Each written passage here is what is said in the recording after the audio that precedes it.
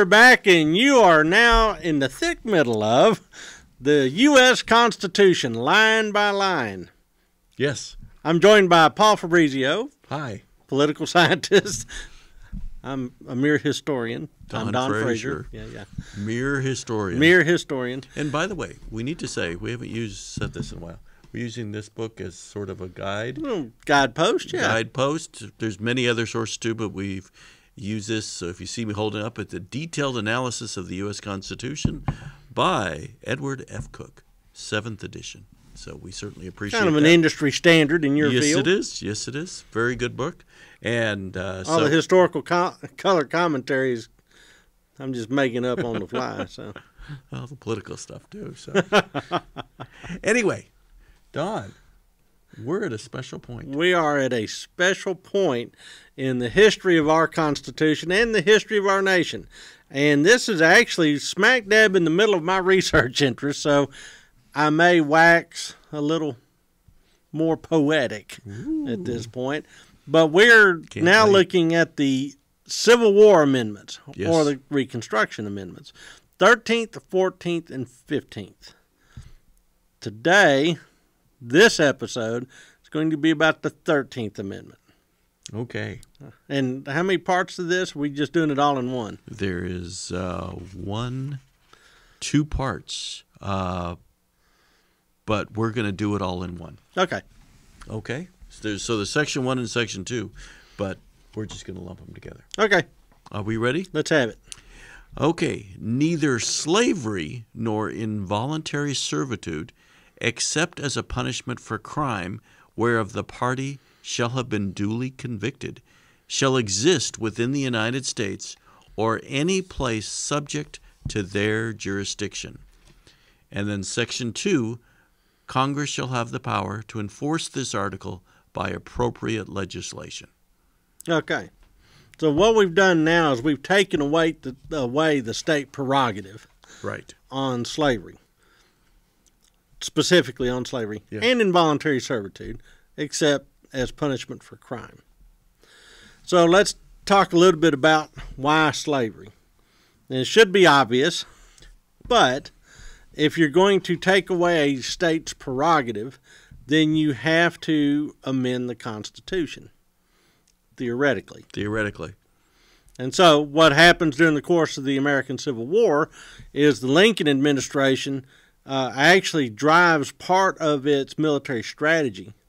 Uh, what part of what's driving it is the idea of reasserting Union control in the Confederate states, in the seceded states. Lincoln held that secession never occurred, that this was actually kind of a military coup d'etat um, which established a military dictatorship along the Davis and Lee axis, and um, that the only way to break it would be to readmit various states into the Union and then use them to ratify a 13th Amendment, which would kill slavery once and for all. That meant every state mattered. Mm-hmm. Not just Virginia, not just Tennessee, but every state. So I'm a historian of the Trans Mississippi, and a lot of people say, "Well, who cares about what happened west of the Mississippi River?" I said, "Well, if you can reorganize um, organize and readmit these western states, then they can help you ratify the Thirteenth Amendment. Exactly. Because you're going to have states that are going to not want to ratify the Thirteenth Amendment, places like Kentucky and Delaware, because they didn't go into this war thinking that this war was about depriving people of property. and these Okay. people had slave property Right. in Kentucky and Delaware, and they're Union states. Right. And they're going, wait a second, it's not what we signed on for. So they were kicking the gate. Meanwhile, Union war strategy allowed the federal army to essentially kick over the state governments in places like Tennessee and Louisiana and Arkansas, various and sundry other places, and claim a newly reconstituted pro union government that could then ratify this amendment, making the abolition of slavery the law of the land. The one thing that people fail to realize about the American Civil War is that there was a fear that the Confederacy might collapse too quickly. Okay, this is a different spin on the Civil War. Well, what would have happened had, had the Confederacy, you know, essentially collapsed in the summer of 1862, which it looked like it might? I don't know. Guess what? Slavery's still around. Okay. Slavery is not abolished. So it wouldn't have accomplished what Lincoln wanted to accomplish. it certainly would not have accomplished what the abolitionists and that segment of the northern population wanted to accomplish. There's a big segment of the of the northern population that doesn't care if slaves are freed or not. Mm-hmm. Uh, there are some people that have serious constitutional doubts over whether or not this is even legal. Which legal? with the war? No, the, well, the war certainly, but also uh, abolishing slavery, Okay. the way that they were talking about doing it. Mhm. So not everybody's on board this freedom train. Okay. And so, um, 13th Amendment was a real dicey prospect. And essentially, it gets maneuvered by saying, well, we need to reassert control over this area so we can get their vote to ratify this amendment. And um, if the if the Confederacy collapses too soon, slavery's not dead. So I would argue that the Civil War may have been artificially prolonged To make sure. to get the legal scaffolding in place so that you could get a 13th Amendment, which would have made one of the precipitating events of the war go away. Now, what about the Emancipation Proclamation? Didn't that handle the same thing the 13th Amendment did? It did not, because it only freed slaves in states that were already in rebellion.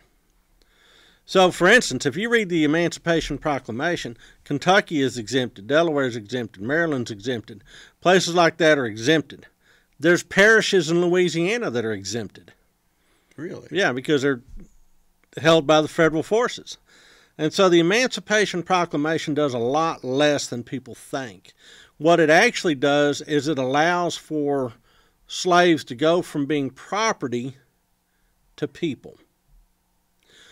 The federal legal scaffolding up to that point still depended on slaves being property.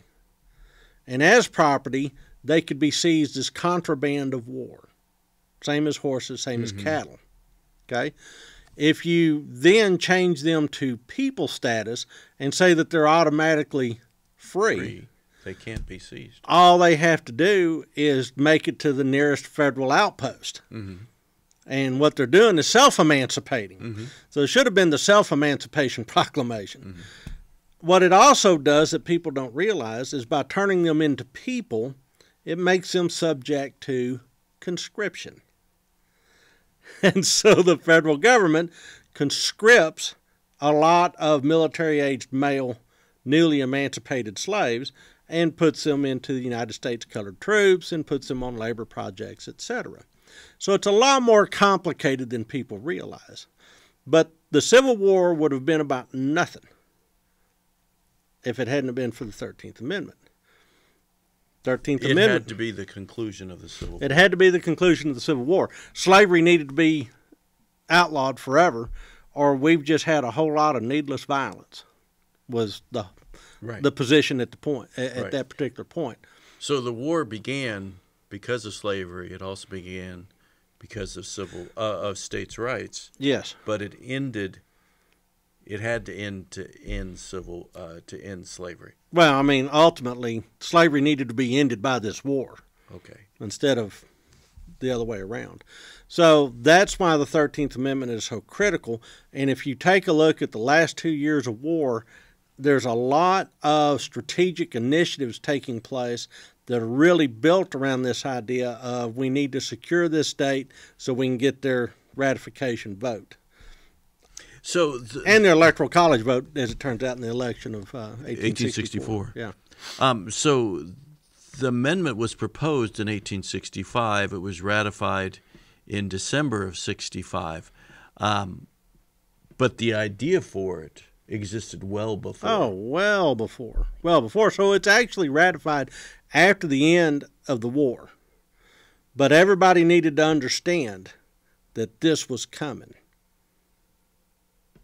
A, a constitutional amendment was coming, and then all of a sudden that sucks all the air out of Southern slaveholders' positions, Okay. and also slave owners in Kentucky Okay. and Now, Delaware and Maryland, places like that. now there was a movie about this called Lincoln. Correct. Um, Steven Spielberg, Yeah. Daniel, Daniel Day-Lewis, yeah. yeah, Great and that was about the proposal stage of the amendment, not the ratification. Correct. But in that, Abraham Lincoln had to do what he could to get the amendment through Congress. And there was a lot of resistance Yeah, and there was a lot of resistance because this idea. people were saying, wait, this is a fundamental shift in the relationship of the federal government to the states. I mean, everybody could agree that slavery was icky, Mhm. but it represented a constitutional question which needed to be answered. Yeah. Needed to be addressed head on. So slavery, in in many ways, became kind of a camouflage. It covered up some of the more important constitutional issues by wrapping it up in a human rights issue. Mhm. So, Now, the verbiage that is used in the amendment doesn't refer to any specific group. It just says neither slavery, slavery nor involuntary servitude. correct. So it applies today when we hear Oh, about when we hear about uh, sex slavery. Oh, human trafficking is human covered by this. This is what we're talking about. Well, and these days. what do you do with something like conscription? What do you do with the draft? Because that pretty much looks like involuntary servitude to me. And I think a young man of you know 19 years that ends up being sent to Vietnam might have agreed. did anybody ever challenge? They did. Okay, They challenged it and then lost. and lost. So essentially, the draft is not involuntary servitude. I guess you get to serve. You're being provided by Uncle Sugar the opportunity to serve. Now, what's remarkable about that is that only applies to men, Right. Not women. They don't have to Well, register for the draft. Right. Women don't have to register for the draft. So therefore, the rulings that allowed men to be drafted, at some point they would have to extend to women. Oh, absolutely. If we're going to have women who are registering for the draft. And if we we're going to have have and if we're going to have true equality. Yeah. Okay. So this is a com- a lot more complicated amendment than people know. Yeah, and- I mean, I would guess a lot of people uh, had the attitude like I did for a long time, which is like, oh, you can't have slaves. That that ends the conversation. yeah, that ends the convo. Yeah, But getting there was what that whole war thing was about. yeah, and it still holds true today, And, and, it still is useful today. it's still very useful today. yeah, So this isn't about just cotton fields and sugar cane. This also has to do with smuggling human beings. does it have to do with interns? Hmm, you, good you- question. You think about, you know, but isn't that voluntary servitude? Well, is it?